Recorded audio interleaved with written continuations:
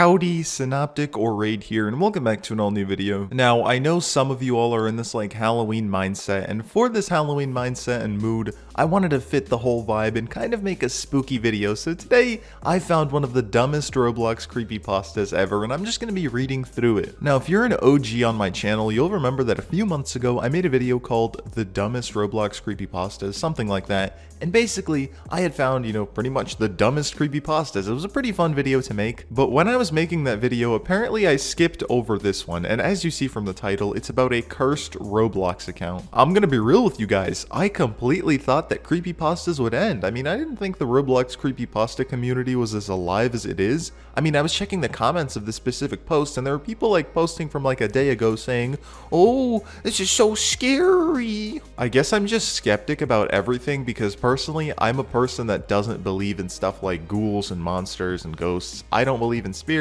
none of that stuff because, I mean, I'm a man of science. Personally, I gotta see it to believe it. The probability for that type of stuff is just extremely low, but if you kind of have ghosts in your house, you know, just call up Ghostbusters or something. I guess I'm just gonna have to hop into the story. It's called Cursed Account and it is on the Roblox Creepypasta Wiki. I think it was posted about a year or two ago. But yeah, guys, get your popcorn, pour yourself a drink, sit back, and enjoy. So I recently bought my daughter a used computer for her birthday. A family computer for her and I. She has always wanted one because it's better to have one to use, so everybody in the house could use it. I wasn't fond of purchasing computers from the store because of the price, but eventually I found this computer that fit my budget.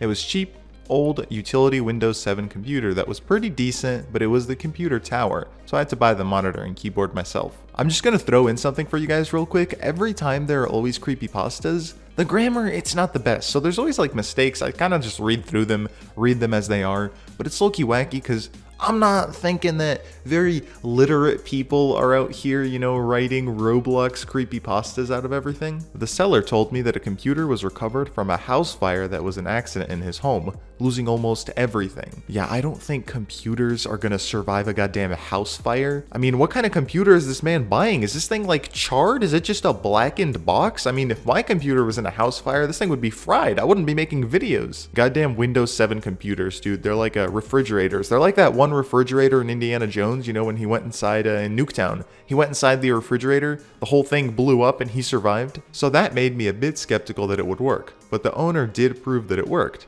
If it somehow didn't, he told me he'd accept a refund. So the computer is coming up in a few days, and I have to mention something heartbreaking.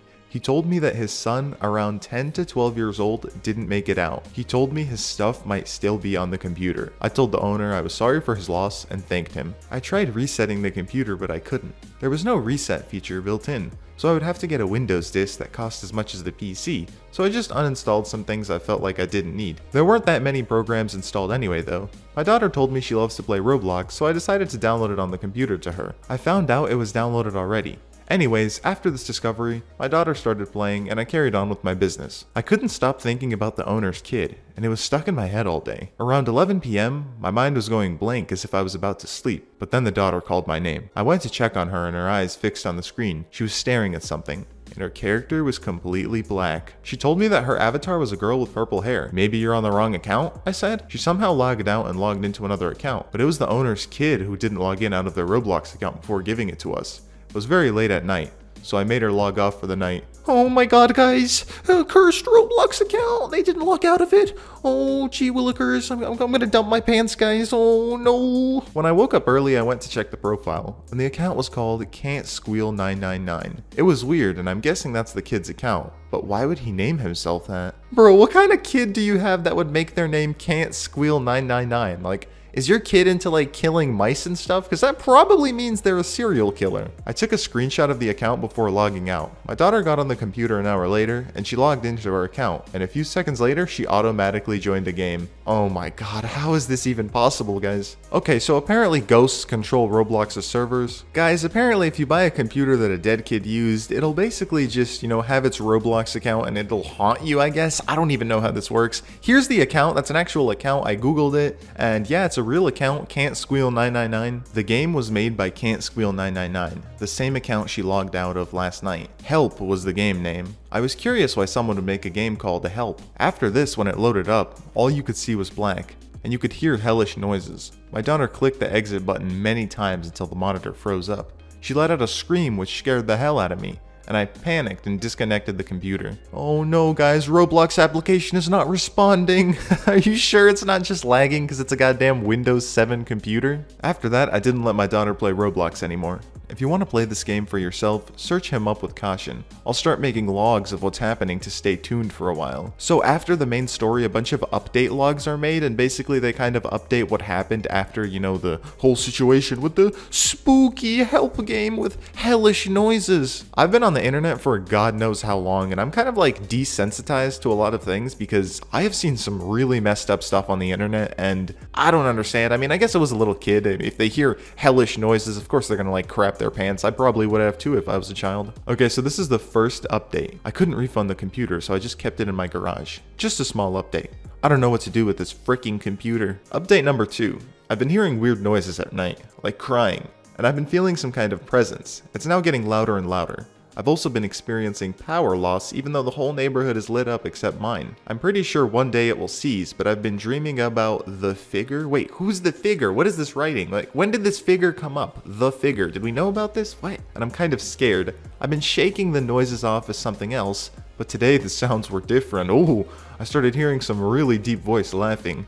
I'll update when something more interesting happens. I also took a new picture of the profile. Okay, I'm gonna be real with you guys. I think there's a kid inside that computer. Maybe the kid didn't die in the fire and he's just been like living inside of the PC. But that's just a theory. A synoptic theory. Okay, now I'm gonna stop. Next update. Sorry I haven't updated this. About my daughter. She's doing fine now.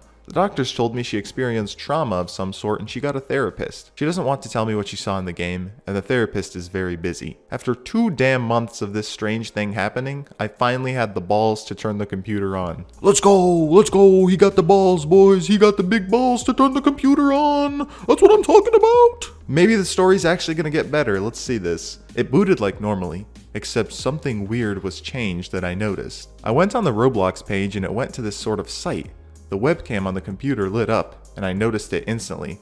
The computer turned off and stopped booting up.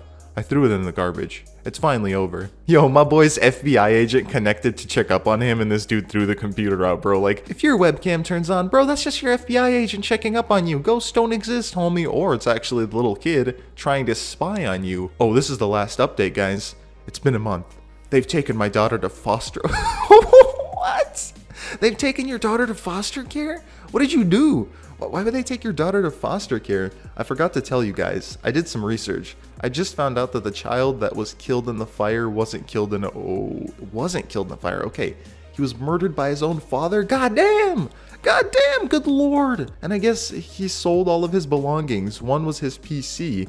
I told him of what I was informed of a few hours ago by his email and he hasn't responded back. So you discovered that the guy that you bought a computer from was a murderer and you email him like what would you even email? Like oh hey i just discovered you're a serial killer online. So uh, can i get a refund on that pc because you know i think the ghost of your kid lives in there. One day i want an actual good roblox creepy pasta something that will make people crap their pants you know what i'm saying? But something that won't make you crap your pants is that playlist that just popped up on the bottom left of your screen. It basically includes all my newest roblox commentaries on just different news drama and topics i find interesting guys, it's been the kid living in his computer, I mean Synoptic, and I'll see you all in the next one.